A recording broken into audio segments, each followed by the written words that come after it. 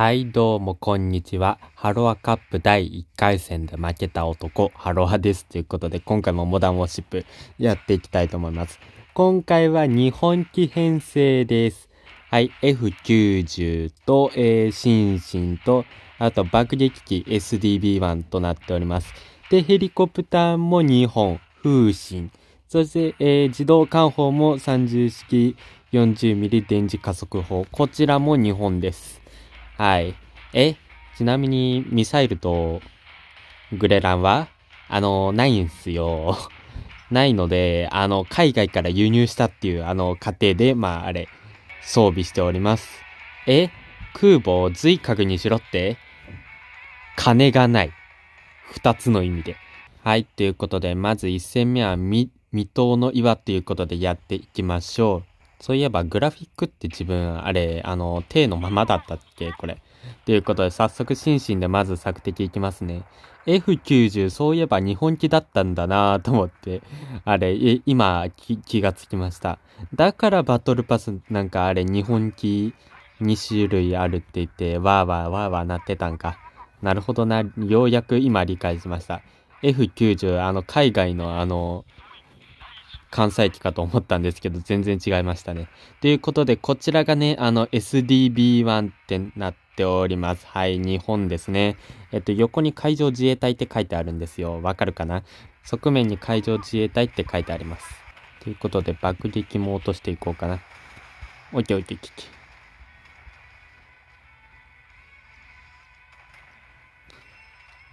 そういえば SDB1 爆撃機、あれ、あの、紹介してないんですよね、動画で。ならせっかくなら紹介しましょうかっていうところなんですけど、えっ、と、まず、えっ、と、装備はね、ミサイル、ミサイル、あと、これは魚雷かな。んで、最後爆弾ってなっておりまして、現環境にしてはちょっと微妙かなって思います。装備構成は。OK、やった。うん、なぜかっていうと、魚雷撃っても、魚雷当たるまでめちゃくちゃ時間かかるし、あと爆弾落とそうにも爆弾の火力がちょっと少ないもんで、あれ、それで火力があんまり出ないっていう感じなんですよ。確かどれぐらいダメージいったかな？爆弾4万ぐらいなんですよ。なので4万ぐらいなら、あれですよね。多分、あの、落とさないよりも普通に遠くからじわじわじわじわミサイルやった方がいいっていう感じなんですけど、唯一のメリットとしては、あの、魚雷があることによって、あの、対潜水艦もいけるっていう感じです。これがまたまた非常に便利なんですよね。ということで、あの、潜水してきましたね。嫌ですね。まあ、あれ、あの、グレネードランチャーがあるのでね、あの、海外から輸入した。なので、そこの、あれ、関係上ね、あの、対戦もなんとかなる。しかも SDB1 は魚雷持ちなので、えっ、と、爆撃機でもできる。ということで、距離が近くなるほど、あの、グレネードランチャーのダメージと威力が上がっていくんですけど、果たしてこれは本当に突っ込んでいいのかなこの距離だったら突っ込まない方がいいと思うんですけどね。なぜならその間にボコられるからね。こんな感じで。あいあいあいあいあいあいあいあい。オッケーありがとうございます。はい。まず1戦目はこんな感じですね。はい。ということで2戦目はみ緑の諸島ということでやっていきましょう。いやー、オンライン行ってからボット戦本当になくなってね、めちゃくちゃ嬉しいです、僕。わざわざオンライン何回も何回も入り直して、対、対人の対戦が、あれ、来るまで、あの、ずっとオンラインやり続けるっていうことがなくなったので、非常に動画が撮りやすいです。ありがとう、運営さん。戦隊ウォーズのマッチングスピードもそこまでね、あの、遅くならなくなってきたもんで、そう考えるとめちゃくちゃいい改善だなと思います。まあ、前から言われていただけありますけど、そこをしっかりやってくれる運営さんは本当に神。そしてこのゲームも神。ということで、これはちょっと、もうちょっとミサイル撃ちたかったけど、これ退避できませんよね。できませんでした。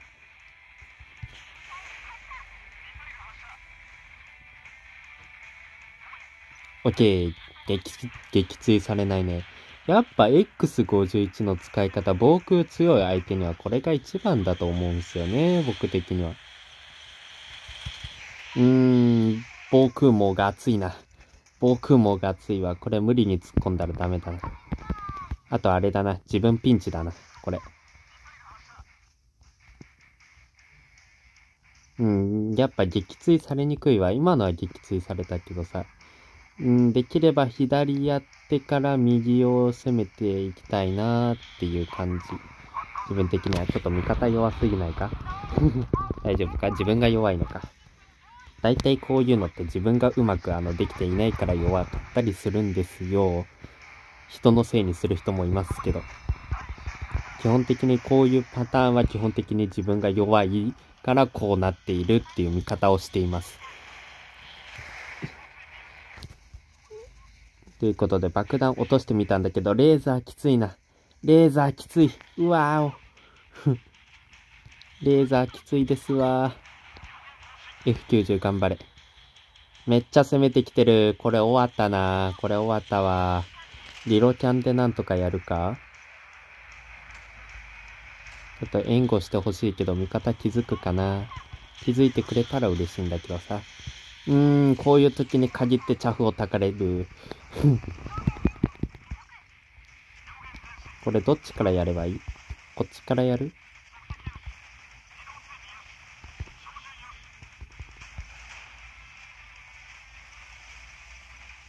うわ、マジでそれ消すの？防空えげつねえな、相手。相手防空えげつないっすわ。そりゃちょっと厳しいんじゃないですか？ということで、ここで風神の登場です。それはちょっと厳しくないか？だって X51 飛ばしている最中にレーザーで消されるんだもん。これはちょっと厳しいね。しかも固まっているのがなおさら嫌だわ。こうなったらもう無理ですわ。こうなったら無理です。どんだけ強くてもはい。ということで、ラストはね、北極圏になりますね。ここになった時はもう左行くしかないんですよ。このまま行ったら死にますしね。ということで、日本機って僕思うんだけどさ、日本機のデザインってなんかめちゃくちゃいいよね。F3 とか、シンシンとか、めちゃくちゃデザイン性に長けているものが多いなと思います。やっぱ美の文化があるっていうかなんかそういう感じでさ、そういう意味でなんかデザインとかそういうのめちゃくちゃいいよなと思ってる、日本機って。OK。まあ、とりあえず索敵通したんで F90 と、えっ、ー、と、B、SDB1 行きましょうか。どいつから狙うかな？やっぱ F126 かな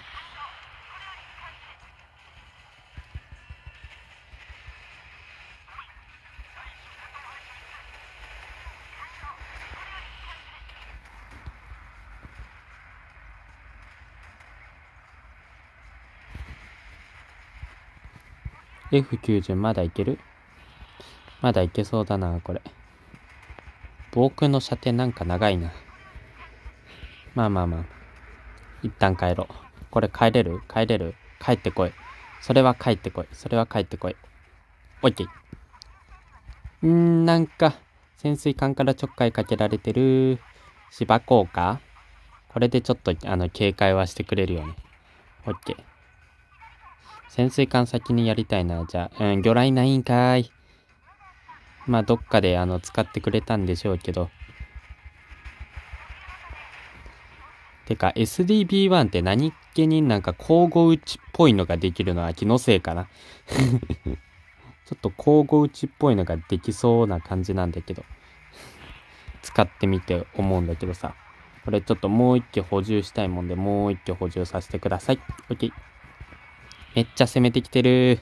めっちゃ攻めてきてる。どっか行きなはれ さて、補給して攻撃して補給して攻撃するっていうのの繰り返しですな。え、もう撃墜されんの？補給したばっかなのに。じゃ、じゃあこれですな。はい、チャフ炊いた。防空強すぎなんだよ。防空強すぎなんだよ、君たち。君たち防空強すぎなんだよ。補給してもすぐに関西機やられるじゃねえか。